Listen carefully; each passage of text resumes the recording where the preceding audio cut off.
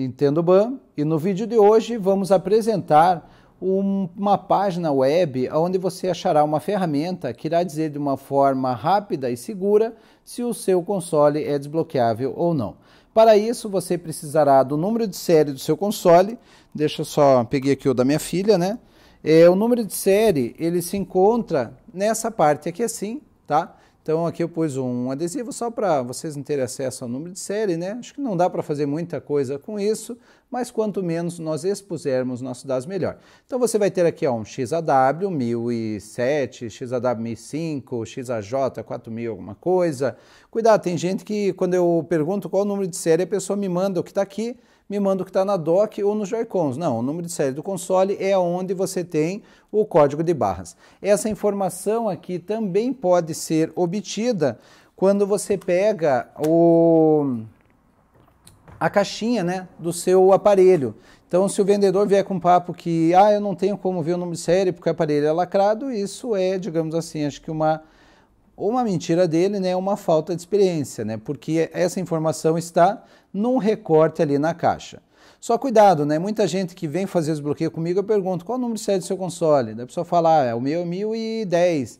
Daí eu falo, olha, o seu não desbloqueia, não adianta nem a gente tentar. Daí a pessoa fala, puxa, mas eu comprei ele dois, três meses depois do lançamento, e como é que não pode? Eu ouvi dizer que os aparelhos antigos poderiam. E daí eu falo, não, mas peraí, então me bate uma foto. A hora que eu vou ver não é o 1010, é o 1001. Então, muito cuidado, né? As pessoas são muito distraídas. Então, quando você usar o computador para fazer isso, depois veja e repare se os números né, estão exatamente na posição no que você digitou ali no computador. Porque se você errar uma um número, né, ou você errar um zero a menos, faz uma diferença muito grande. É, essa ferramenta eu achei muito interessante, pelo que eu já desbloqueei, bateu em cheio. O que eu vi que deu uma diferença é que o, o 1007, o 1079, é, todos que eu peguei eu consegui desbloquear. Não vou dizer que todos sejam desbloqueáveis, tá? Quando eu pego o 1009 eu aviso para a pessoa do risco, mas até hoje minha taxa de desbloqueio foi de 100%. Então ali diz que o 1009 já é possível de ter sido corrigido.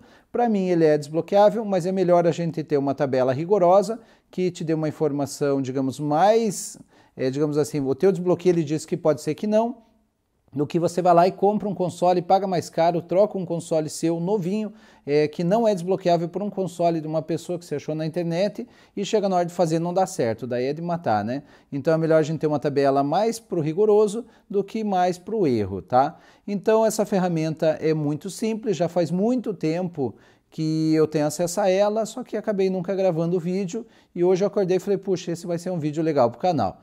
Então vamos agora para o computador. Na descrição do vídeo, você vai achar um link para o site ismysweetpatch.com. Esse site está em inglês, né, que é o meu tradutor que acabou pegando. E como que vai funcionar?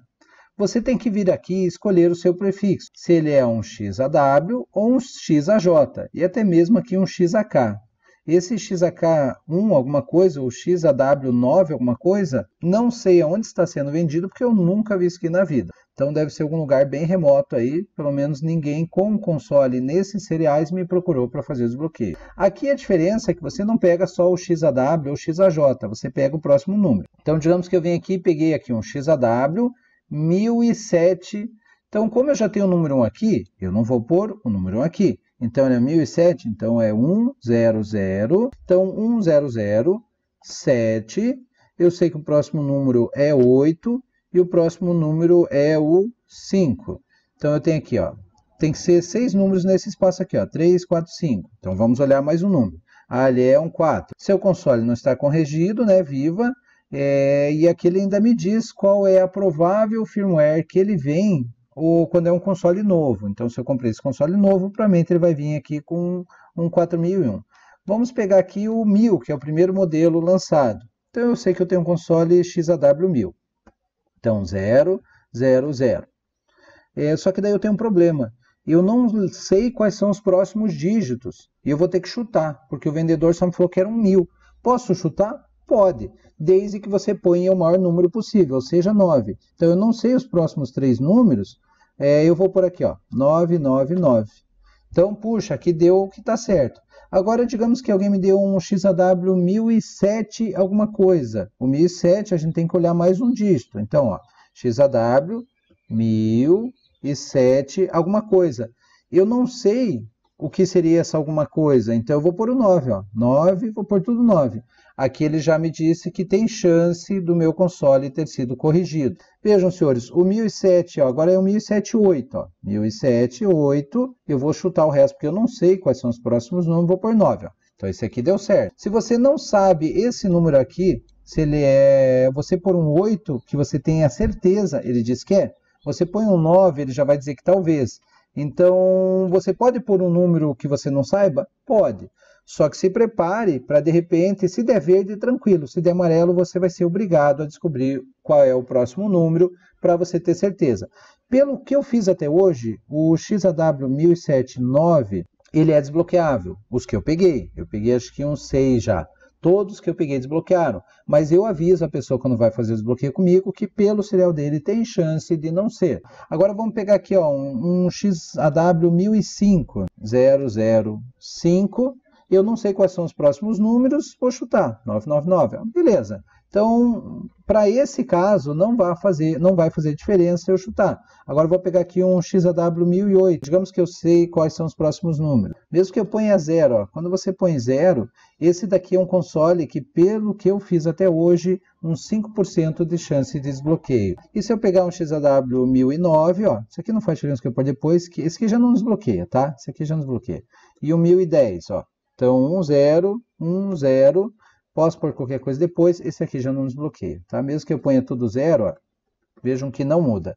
Daí eu vou lá e vou pegar aqui um XAW 4000. Os 4000, eles são desbloqueáveis até o 4001, então 001. Só que daí o próximo número, se for zero, ele desbloqueia.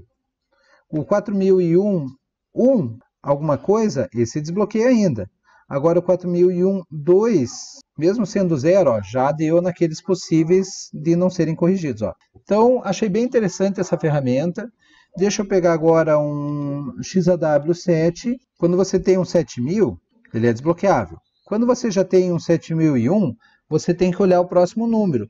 O 7001 7 e o próximo número 8, esse aqui já desbloqueia, ó, tá? Agora um 7001 7, o próximo número 9, ele já cai naquela mesma tabela que dificilmente vai desbloquear. E se você pegar um 7001 8, não importa o que vem depois, também já nos bloqueia. Agora um 7001 2, ó, esse aqui esqueça, esse aqui não desbloqueia, tá? Aqui não deu como vermelho, mas pela prática que eu tenho já nos bloqueia. É, então, lógico, aqui eu estou dando vários exemplos, pode ser que você se confunda com isso, mas não tem segredo pegue o XAW ou XAJ mais o próximo número pelo prefixo, né, por aqui, e depois repita mais, ou seja, olhe no serial do seu console que está embaixo da tela ou na caixa do seu console e põe os próximos seis números. Só por favor, né, não vai pôr o 7 aqui e repetir ele aqui, que daí vai dar que não é desbloqueável mesmo, tá? Então, gostei bastante dessa tabela, eu achei desse programa, né, eu achei que bateu legal com a minha tabela. Agora eu vou pegar aqui um XAWJ, tá um 1000. Deixa eu ver, ó. O XAW 1000, ele até o 1002, é, 2000, o 1002 0 desbloqueia. Então 1002 0, então vou por aqui tudo 9, ó, esse aqui desbloqueia. 1002 1, esse daqui mesmo que seja 00 depois, ó, já caiu naquela parcialmente corrigido, né? Pode ser que não desbloqueie. Deixa eu pôr só mais um aqui, ó, o 4. 4046, na verdade, ele desbloqueia. Então, 4046, ele desbloqueia. 4047, ó, já caiu nos parcialmente. E para finalizar, não vou nem mostrar aqueles outros estranhos, tá? O XAJ7. O XAJ7, ele até o 7004 desbloqueia, então, ó, 7004, né, contando o 7 do prefixo, ele desbloqueia. Pode ver aqui que vai dar só um pouquinho. Ó. É, XAJ 7004, ah, sim, 7004, quando começa com 0, ó, ele desbloqueia. 7004, 1, já vai cair nos possivelmente corrigidos. Um, um serial que eu estou vendo bastante por aí, que é o XAJ 7004 3 esse aqui, pelo que eu vi, até teve um conhecido que uma loja, né, a Magazine Londrina, eles pegaram uns, uns 15 desse daqui e testaram, nenhum deles desbloqueou, tá? Então, o 7043, esse daí esqueça, tá? Vai ser muito difícil conseguir desbloquear também. Entenderam, senhores? Então, só para finalizar, digamos que você pegue lá, ah, eu tenho um XAJ é, 1006. Então, ó, 1006, eu preciso de mais três números, ou você olha na caixa e põe um número, ou você chuta, se você não tiver essa informação, pondo 9. Pois 9, ó, não desbloqueou. Poxa, de repente, será que eu tenho que olhar na caixa? Põe zero. Não desbloqueou. Então não adianta nem você pegar na tua caixinha os próximos dígitos. Agora, se você pegar lá, por exemplo, ó, se você pegar lá, por exemplo, um XAW 7001, daí você sabe que o próximo número é 7 e você não tem mais o próximo número. Então, vou chutar aqui, 99. Poxa, deu que não, talvez não vá. Vou chutar aqui 00. Poxa. Então, nesse caso, você é obrigado a saber pelo menos o próximo número. Ó. Você vai ter que saber ó, esse número que eu vou apagar agora. Porque se ele for 0, ele desbloqueia. Se ele for 8, ele desbloqueia. Mas se ele for 9, ele já cai no talvez. Então, nesse caso, é importantíssimo que você descubra esse número porque faz diferença. Então, entenderam? Se você tiver todos os números, não tem, não tem nem o que pensar. Põe tudo aqui, só olha se você digitou correto e pronto. Agora, você tem uma parte, você põe.